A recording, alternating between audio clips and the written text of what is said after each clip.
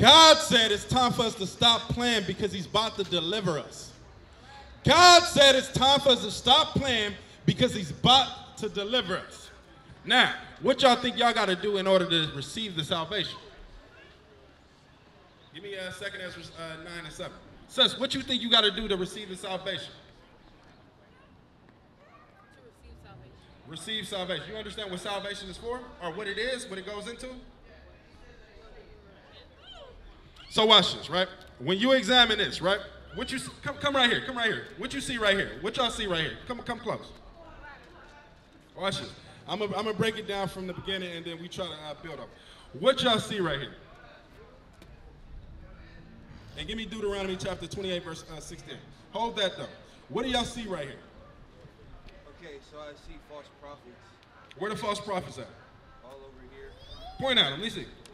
Uh, Zebek. Oh, okay, okay. So the idols, idols, idols. All right. Focus more on this. So because we had that's idolatry. That's good. That's idolatry. That's what that's what we was doing, and that resulted in this. What is this? Would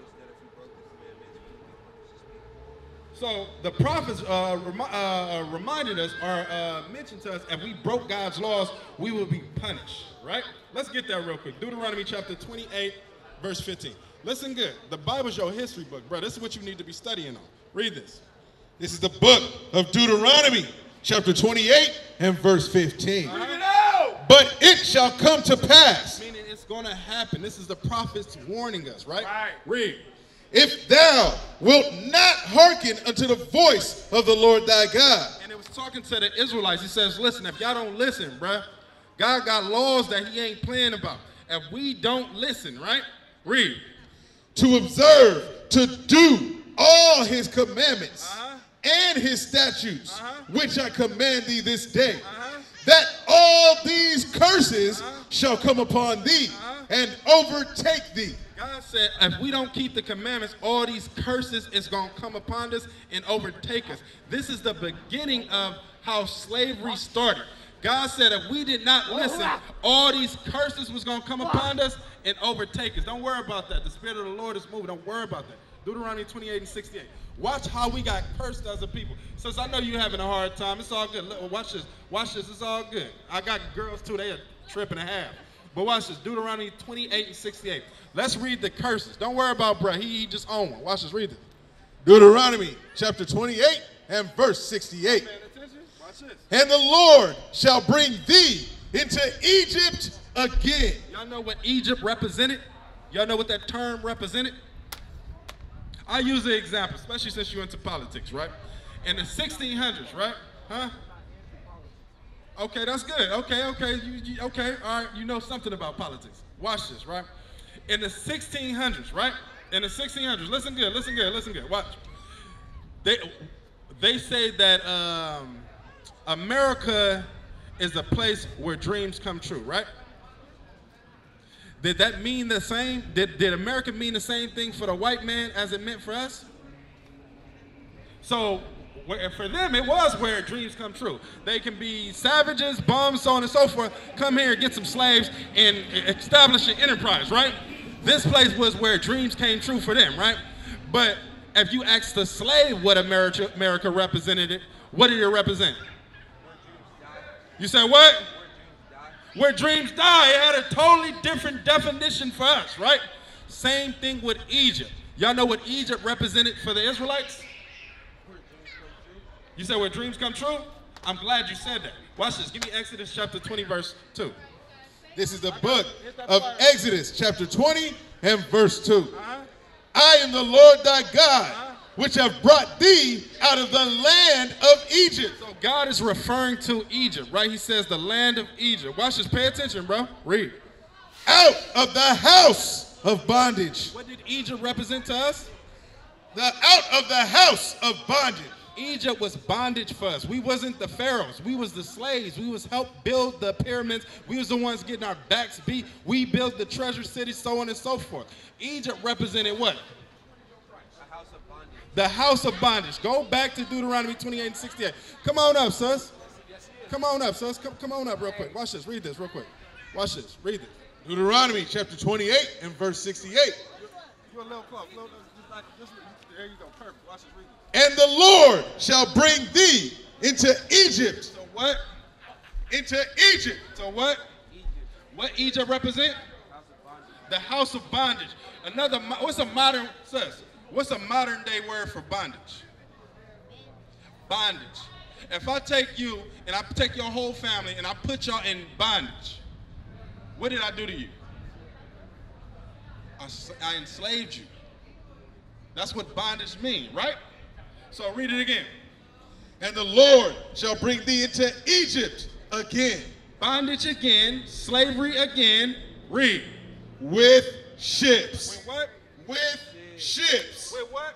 With ships. What are we reading? We reading our history in the Bible. God said for our disobedience, He was going to bring us into slavery again with ships. Did you know that, sis?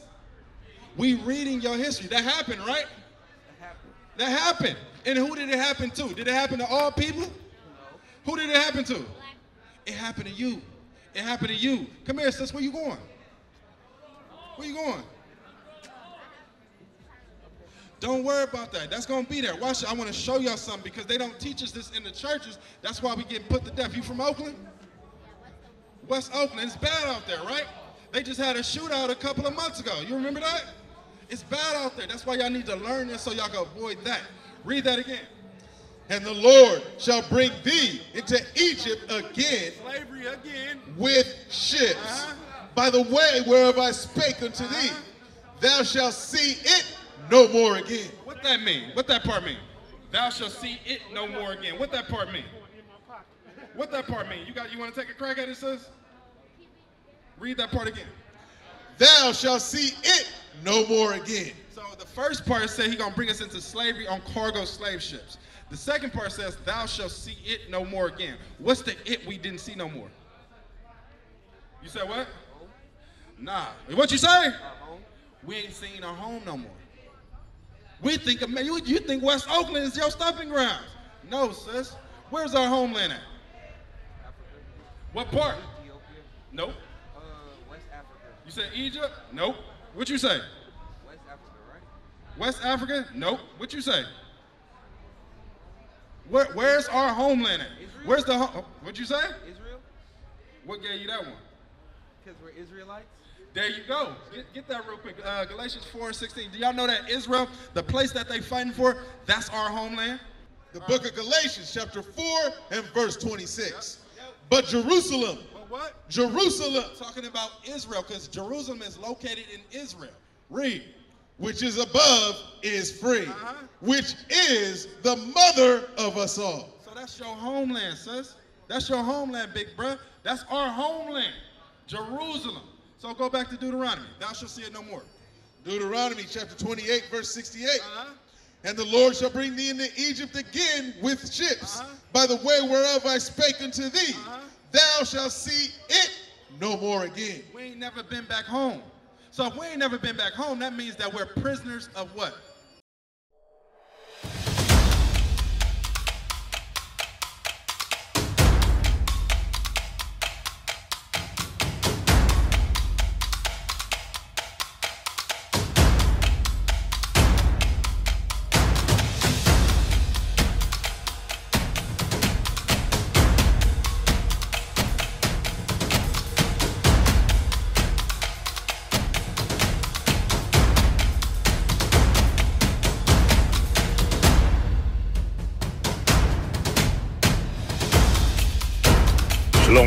This is Bishop Nathanyel. I want you to know that you can view all our Sabbath classes live on IUIC TV. That's right, I said on IUIC TV. Download the app today. Shalom. Because when you free somebody, you let them go. Right, sis? You free somebody, you let them go. If you if you took a child and you said this child mine, but then you change your mind and you free him, are you gonna still let him stay in your house? You're gonna let them go, right? So that means that we're still what? We still slaves. Now it's making sense. We ain't never went back home, and the reason why we still slaves because God already talked about it. Read. And there Huh? ye shall be sold unto your enemies. So God said when we got off those ships, right? Watch this. Y'all look at this, right? God said we would be sold to our enemies.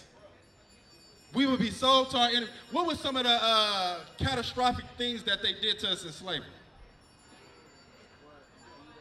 You said beat us, They castrated us, castrated us, made us uh, eunuchs. cut our fingers. What you think they did to us in slavery, sis?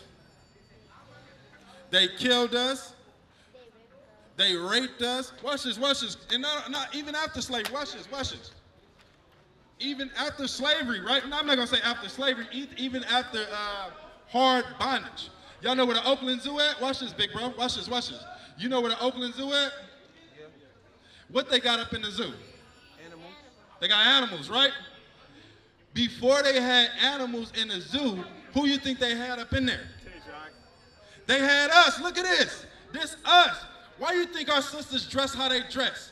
Because at one point they really had us in the zoo and people would buy tickets to go see the children of God be stripped, raped, and destroyed.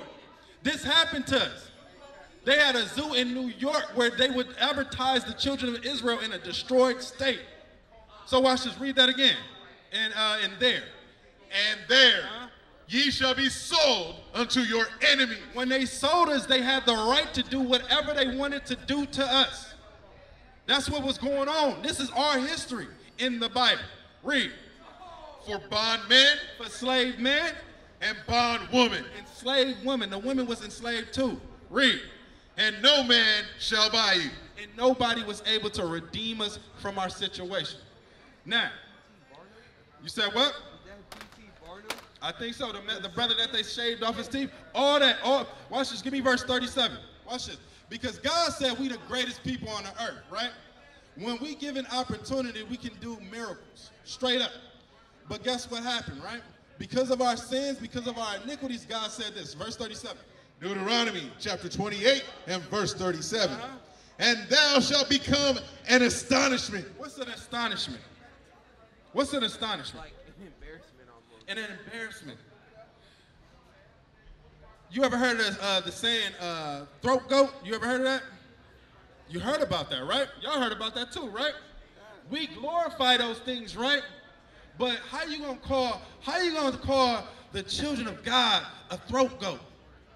How you gonna call the kings of the earth real niggas and, and thoughts and so on and so forth? How can we do that?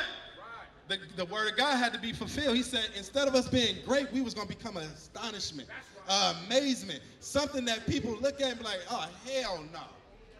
Black people move into the community, they say the property value go down. How is that if we the children of God? God said we will become an astonishment. Read. A proverb. You know what a proverb is?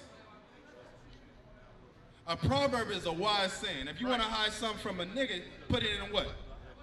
In a book. put it in the book, right? They say black, black and Latino women, all they meant for is making it clap, right?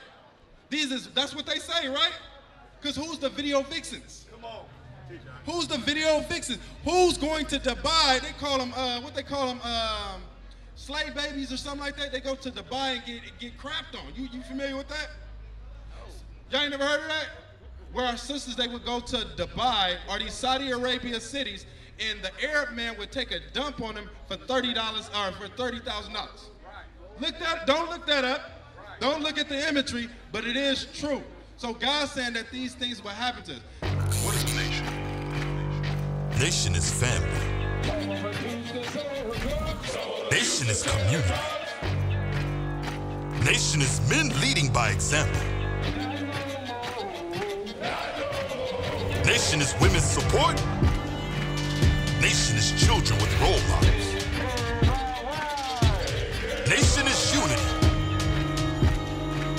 Nation